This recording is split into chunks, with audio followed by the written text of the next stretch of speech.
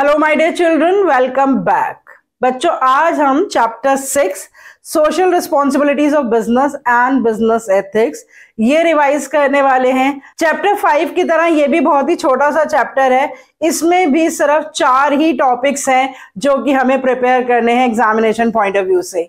But छोटा होने का मतलब ये नहीं है कि ये इंपॉर्टेंट नहीं है। This chapter is very very important और जो मैं आपको पहले बता चुकी हूँ कि चैप्टर फाइव और सिक्स सिर्फ़ दस नंबर का आता है, लेकिन इसमें नंबर ऑफ़ टॉपिक्स कितने हैं, दोनों चैप्टर्स के मिला के आठ टॉपिक हैं। जिनको अच्छे से प्रिपेयर करके आप अपने एनुअल एग्ज़ाम्स में अच्छे मार्क्स जो है वो इंश्योर कर सकते हैं। चैप्टर सिक्स के कितने टॉपिक्स हैं? सैंपल पेपर में उसमें से कितने क्वेश्चंस आए हैं? किस तरह के क्वेश्चंस आए हैं?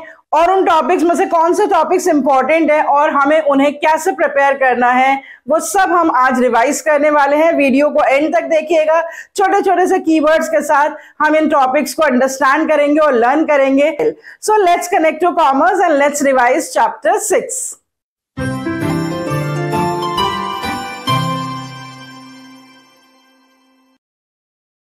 total number of topics इस चैप्टर में बच्चों चार ही हैं, जैसे मैंने अभी आपको बताया, उनके मैंने यहाँ पर नाम लिख दिए हैं कि सबसे पहले हम डेफिनेशन कर लेंगे सोशल रिस्पॉन्सिबिलिटीज ऑफ़ बिज़नेस की, और उसके बाद जो बहुत इंपॉर्टेंट टॉपिक है, वो है arguments in favour of social responsibilities of business एक टॉपिक है responsibilities towards the various groups तीसरा टॉपिक है business ethics and its elements और चौथा टॉपिक है role of business in environmental protection sample paper में आपसे ऑलरेडी डिस्कस कर चुकी हूँ हर चैप्टर और हर वॉल्यूम से रिलेटेड जिसमें हमने देखा कि सैंपल पेपर में इस चैप्टर से एक क्वेश्चन आया चार नंबर का चॉइस के साथ पहला क्वेश्चन है सोशल रिस्पॉन्सिबिलिटी के आर्ग्यूमेंट्स पे और उसके साथ चॉइस पे क्वेश्चन है बिज़नेस एथिक्स के एलिमेंट्स पे।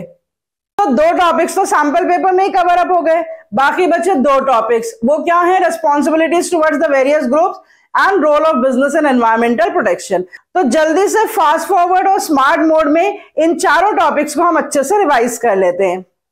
पहले तो मैंने यहाँ पर डेफिनेशन ही लिख दी रिवीजन के लिए. Obligation to take those decision and to perform those action which are desirable in terms of objectives and values of a society मतलब बिज़नेस ऐसे डिसीजंस ले और ऐसे एक्शंस परफॉर्म करे जिससे उसके ऑब्जेक्टिव्स तो फुलफिल हो ही, लेकिन जो एक्सपेक्टेशंस है सोसाइटी की according to the values of the society भी उसके डिसीजंस और एक्शंस होने चाहिए। और हमने ऑब्जेक्टिव्स ऑफ़ बिज़नेस में पढ़ रखा है कि business is an economic entity तो बिज़नेस का main objective the profit earning ही होता है। लेकिन एक्चुअल ऑब्जेक्टिव बिज़नेस का होता है profit earning through social welfare मतलब बिज़नेस को सोशली रिस्पॉन्सिबल भी होना बहुत ही ज़रूरी है। और बिज़नेस को क्यों सोशली रिस्पॉन्सिबल होना ज़रूरी है, ये सब हम ऑलरेडी कर चुके हैं, जिसे हम अभी रिवाइज करेंगे। Arguments that why the business should be socially responsible that what are the arguments in favour of social responsibilities of the business in arguments का जो पहला पहला लेटर है ना बच्चों उससे मैंने एक एक्रोनिम और एक स्टेटमेंट भी बना रखी है। बहुत ही इजी से स्टेटमेंट है और जिसके ऊपर मैंने एक शॉर्ट्स भी बना रखा है। अगर आपने नहीं देखा तो देखिएगा, जिसमें मैंने बताया कि इस पर्टिकुलर सेंटेंस से, क्या सेंटेंस है? अब मैं अच्छा बच्चा हूँ जैसा लोग चाहते हैं। इस सेंटेंस से आप arguments in favour of social responsibilities जो है, वो याद रख सकते हैं। और इसमें आप इमेजिन करिए कि बिज़नेस ये बोल रहा है कि मैं अच्छा बच्चा हूँ जैसा लोग चाहते हैं। क्योंकि सोशल रिस्पॉन्सिबिलिटीज में भी तो हम यही डिस्कस कर रहे हैं ना कि बिज़नेस को कैसा होना चाहिए, जैसा समाज चाहता है, जैसा लोग चाहते हैं। और अगर बिज़नेस वैसे ही बिहेव करेगा जैसा लोग चाहते हैं तो बिज़नेस कैसा बन जाएगा? अच्छे बच्चे की तरह बन जाएगा, उसकी इमेज अच्छी हो जाएगी। Let's see what are these important arguments ये आर्ग्यूमेंट्स मैंने पॉइंट्स में लिख दिए हैं। Availability of resources with the business, it starts with a avoidance of the government regulations it also starts with a better environment for doing the business number 4 holding business responsible for social problems number 5 justification for existence and growth and number 6 long term interest of the business itself तो इसके जो पहले पहले words है A A B H J N L इन्हीं word से मैंने क्या स्टेटमेंट बना ली ए से अब मैं फिर दूसरे ए से अच्छा बी से बच्चा एच से हूँ जे से जैसा और एल से लोग चाहते हैं। अब हेडिंग्स तो हमें याद हो गई। अब इन हेडिंग्स को एक्सप्लेन कैसे करेंगे? लेट्स सी सबसे पहला आर्ग्यूमेंट है availability of resources with the business बच्चों बिज़नेस को जो भी फ़िज़िकल फाइनेंशियल रिसोर्सेज मिलते हैं, वो बिज़नेस की अपनी प्रोडक्शन तो होती नहीं है। All these resources business get from the society तो यहाँ इस आर्ग्यूमेंट में आप लिखेंगे कि all the resources the business has it gets from the society so it is therefore necessary for the business to use these resources wisely and to use these resources to solve the problems of the society तो business को जो resources society से मिले हैं वो resources business को society के लिए ही इस्तेमाल करने चाहिए in order to solve the problems of the society and in order to fulfill the expectations of the society दूसरा आर्ग्यूमेंट है in order to avoid the government regulations देखिए, कोई भी बिज़नेस अनएथिकल होगा इरेस्पॉन्सिबल होगा अनफेयर प्रैक्टिस में involve होगा तो लोग उससे सेटिस्फाई नहीं होंगे, उसकी कंप्लेन करेंगे, और फिर गवर्नमेंट इंटरफेयर करेगी उस तरह के बिज़नेस को ठीक करने के लिए। तो अगर कोई भी बिज़नेस चाहता है कि इस तरह का गवर्नमेंट इंटरफेरेंस ना हो बिज़नेस की इमेज जो है वो खराब ना हो तो बिज़नेस को क्या होना चाहिए? सोशली रिस्पॉन्सिबल होना चाहिए।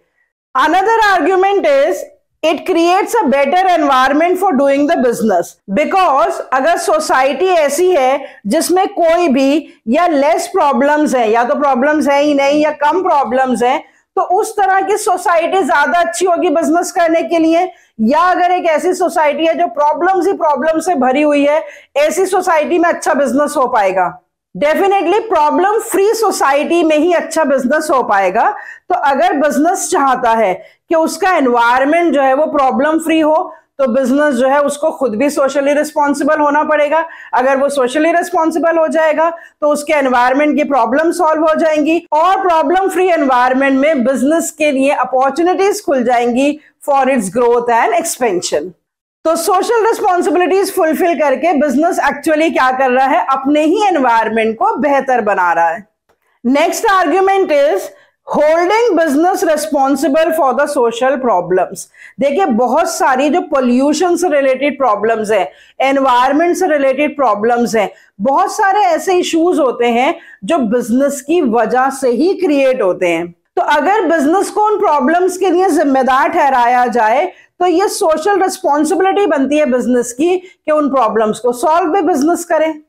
और वो उन प्रॉब्लम्स को कैसे सॉल्व कर सकता है? By behaving in a socially responsible manner another argument is justification for existence and growth हमने जितने भी इकोनॉमिक ऑब्जेक्टिव्स पढ़ रखे हैं बिज़नेस के, उसमें सर्वाइवल बेसिक ऑब्जेक्टिव है, उसके बाद प्रॉफिट अर्निंग है और उसके बाद ग्रोथ है। प्रॉफिट अर्न करके बिज़नेस जो है, वो सारे ऑब्जेक्टिव्स को अचीव कर लेगा, इस बात की कोई श्योरिटी नहीं होती है।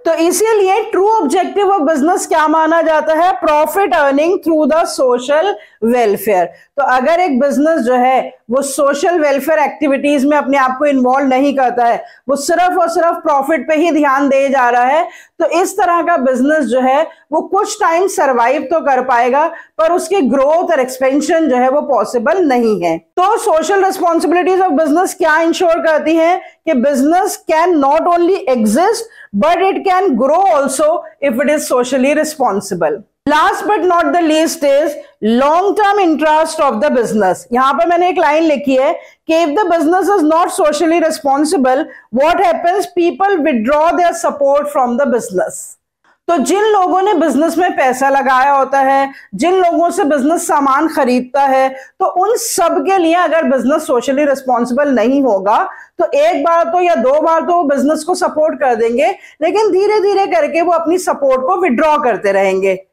और जब लोग अपनी सपोर्ट विड्रॉ कर लेंगे तो बिज़नेस का लॉन्ग टर्म इंटरेस्ट जो है, वो फुलफिल ही नहीं हो पाएगा। So if the business want long term interest should be serve उसके लिए बिज़नेस को क्या होना पड़ेगा? सोशली रिस्पॉन्सिबल होना पड़ेगा। ये जो टोटल सिक्स आर्ग्यूमेंट्स हैं in favour of social responsibilities of the business आप इस लाइन से याद कर लेंगे। और जो मैंने यहाँ पर कीवर्ड्स लिखे हैं उन कीवर्ड से आप इस हर एक आर्ग्यूमेंट को एक्सप्लेन कर देंगे। Now let's move on to another important topic, that is the responsibilities of the business towards various groups. मतलब बिज़नेस को कई तरह के ग्रुप्स के साथ डील करना पड़ता है। वो ग्रुप्स जो है, वो मैंने यहाँ पर दो कैटेगरीज में डिवाइड कर दिए। Internal groups and external groups और इंटरनल ग्रुप्स में जो दो बहुत ही इंपॉर्टेंट ग्रुप्स हैं, वो है ओनर्स एंड एम्प्लॉयज़ और एक्सटर्नल ग्रुप्स में भी दो ग्रुप्स बहुत ही इंपॉर्टेंट हैं, जो है customers and the government and we include with that the community at large हर एक पर्टिकुलर ग्रुप के लिए बिज़नेस को कैसे सोशली रिस्पॉन्सिबल होना है और क्या क्या रिस्पॉन्सिबिलिटीज फुलफिल करनी है, उनके मैंने यहाँ पर कीवर्ड्स लिख दिए हैं। उन कीवर्ड्स की हेल्प से आप पॉइंट्स बनाकर चार चार रिस्पॉन्सिबिलिटीज जो है, वो हर ग्रुप की याद कर सकते हैं। तो पहला ग्रुप होता है ओनर्स ओनर्स में इन्वेस्टर शेयर होल्डर्स सब आ जाते हैं, जो कि बिज़नेस के मालिक होते हैं। तो उनके लिए बिज़नेस को क्या क्या ध्यान में रखना है? Fair return to them number one safety of their investment number two number three their wealth maximisation and number four full and complete disclosure of all the information उसके बाद देखिए एम्प्लॉयज़ कोई भी एम्प्लॉय जो किसी भी ऑर्गेनाइजेशन में काम करते हैं, उनकी क्या एक्सपेक्टेशंस होती हैं बिज़नेस से? वो सारी एक्सपेक्टेशन बिज़नेस को फुलफिल करनी होती है। बिज़नेस की एम्प्लॉयज़ के लिए क्या क्या रिस्पॉन्सिबिलिटीज होंगी? Fair remuneration to them wages हो या सैलरीज हो हायर लेवल एम्प्लॉयज़ हो या लोअर लेवल एम्प्लॉयज़ हो, उनको फेयर रिटर्न्स मिलने चाहिए। उनको जॉब सिक्योरिटी मिलनी चाहिए। एंड नंबर फोर उनको लगातार इंप्रूवमेंट का प्रमोशन का ट्रेनिंग का या डेवलपमेंट का चांस मिलना चाहिए।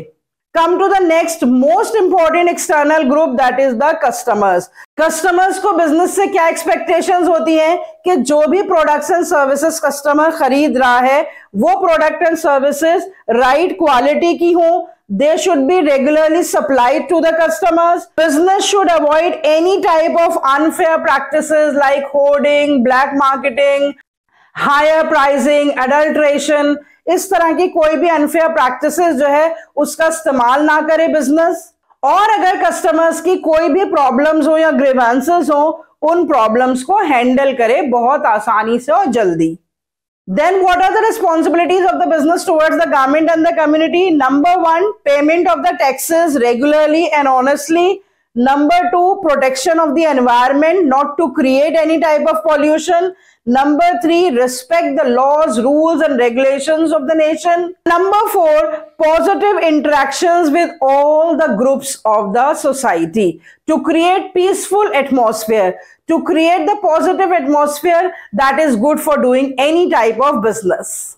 तो बच्चों आप इस पूरे बोर्ड का जो है वो स्क्रीनशॉट ले लीजिए इसमें मैंने सारे कीवर्ड्स तीन इंपॉर्टेंट टॉपिक्स से related Definition of the social responsibilities of business, arguments in favor of social responsibilities of business, and responsibilities towards the various internal and external groups ये सारा मैंने अभी आपके साथ रिवाइज कर लिया और इतनी रिवीजन के बाद अब मैं समझती हूँ कि इन टॉपिक्स में से आप किसी भी तरह के आंसर्स जो हैं वो बहुत आसानी से लिख पाएँगे नॉर्मली एक स्ट्रेट फॉरवर्ड ही क्वेश्चन आता है from this chapter Now let's revise quickly the business ethics and its elements and what is the role a business can play in environmental protection.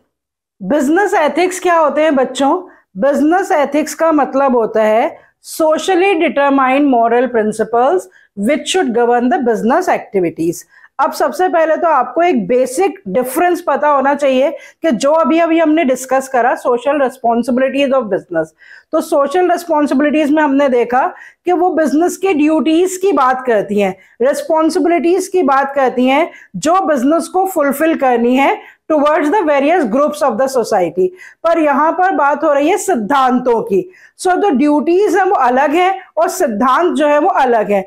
Business के सिद्धांतों का मतलब बिज़नेस की moral duties या moral responsibilities जैसे कि अभी अभी हमने बहुत सारे एग्जाम्पल्स पढ़े या बहुत सारी सोशल रिस्पॉन्सिबिलिटीज पढ़ी टूवर्ड्स द वेरियस ग्रुप्स उसी तरह से कि जो बिज़नेस के एथिक्स होते हैं, उसके क्या एग्जाम्पल्स हो सकते हैं कि फेयर प्राइजेस चार्ज करना फेयर मेजरमेंट्स के साथ सारा नापतोल ठीक से करना हर एक ग्रुप के साथ, जिसके साथ में बिज़नेस डील करता है, उसे प्रॉपरली ट्रीट करना। इस तरह के कुछ एग्जाम्पल्स हम दे सकते हैं रिगार्डिंग द बिज़नेस एथिक्स तो अगर कोई भी बिज़नेस अपने कस्टमर्स से ज़्यादा प्राइजेस चार्ज कर रहा है, जितने प्रोडक्ट की वैल्यू नहीं है, उससे ज़्यादा चार्ज कर रहा है, या जो सप्लायर्स हैं, या जो दूसरे ग्रुप्स हैं, उनसे सही तरीके से डील नहीं कर रहा है तोल में कोई धोखाधड़ी कर रहा है तो इस तरह की प्रैक्टिसेस जो है, वो अनएथिकल बिज़नेस प्रैक्टिसेस होती हैं। अब हम देखेंगे एलिमेंट्स ऑफ़ बिज़नेस एथिक्स में कि क्या ऐसा करना चाहिए बिज़नेस को, जिससे कि वो इंश्योर कर सके कि बिज़नेस एथिकल है। तो सबसे पहले तो टॉप मैनेजमेंट के कमिटमेंट से जो है, वो ये इंश्योर होगा कि बिज़नेस एथिकल है या नहीं है।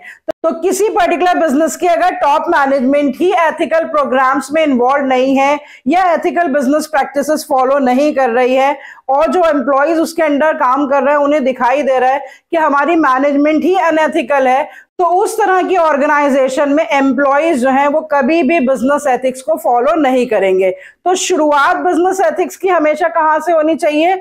टॉप मैनेजमेंट से, जो कि रोल मॉडल होती है अपने एम्प्लॉयज़ के लिए, और वो स्ट्रांगली अगर कमिटेड होंगे, तभी जो है बिज़नेस एथिक्स इंश्योर किए जा सकते हैं थ्रू आउट दी ऑर्गेनाइजेशन तो सबसे पहला एलिमेंट जो ज़रूरी है बिज़नेस एथिक्स को इंश्योर करने के लिए, वो क्या है? Commitment of the top management उसके बाद ये बताया जाता है कि एक proper code of conduct code of conduct का मतलब होता है रूल्स ऑफ़ बिहेवियर तय होने चाहिए हर एक के लिए इन दी ऑर्गेनाइजेशन किस तरह के rules rules of honesty rules of behaviour rules of safety rules of fairness मतलब किसी भी तरह का डिसऑनेस्ट बिहेवियर किसी भी तरह का अनसेफ बिहेवियर किसी भी तरह का अनफेयर बिहेवियर तो ये सारी तरह के बिहेवियर जो हैं, वो ऑर्गेनाइजेशन में एक्सेप्ट नहीं किए जाएँगे। एम्प्लॉयज़ को बिल्कुल साफ़ साफ़ क्लियर कट पता होना चाहिए कि किस तरह का बिहेवियर जो है, उन्हें ऑब्ज़र्व करना है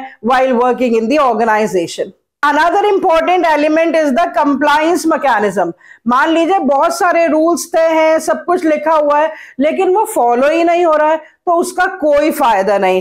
तो एक इंपॉर्टेंट एलिमेंट जो ज़रूरी होना चाहिए कि एक कंप्लाई करने का मैकेनिज्म ज़रूर होना चाहिए। मैकेनिज्म टू फॉलो वो कैसे पॉसिबल है? अगर एक अच्छा सपोर्टिव कम्युनिकेशन सिस्टम हो, जिसके थ्रू इमीडिएटली रिपोर्ट हो जाए, अगर कहीं भी, किसी भी जगह पे कोई अनएथिकल एक्टिविटी हो रही है तो एक प्रॉपर स्ट्रॉन्ग कम्युनिकेशन सिस्टम की ज़रूरत होनी चाहिए उसे कंप्लाई करने के लिए ताकि वो अनएथिकल एक्टिविटी अननोटिस ना चली जाए किसी भी तरह से। किसी भी तरह की एक्टिविटीज़ का प्रॉपर ऑडिट होना चाहिए लगातार, उनकी चेकिंग होनी चाहिए ताकि ये पता लग सके कि कोई भी अनएथिकल एक्टिविटीज़ जो है, वो हमारी ऑर्गेनाइजेशन में कंडक्ट नहीं हो रही है। प्रॉपर एंड टाइमली रिव्यूज़ जो है वो मैनेजमेंट के पास आते रहने चाहिए regarding the behaviour of various people working in the organisation इस तरह के ट्रेनिंग प्रोग्राम्स ऑर्गेनाइज करने चाहिए जिससे कि लोगों को लगातार ये पता चलता रहे कि किस तरह से वो और ज़्यादा एथिकल एक्टिविटीज़ में इन्वॉल्व हो सकते हैं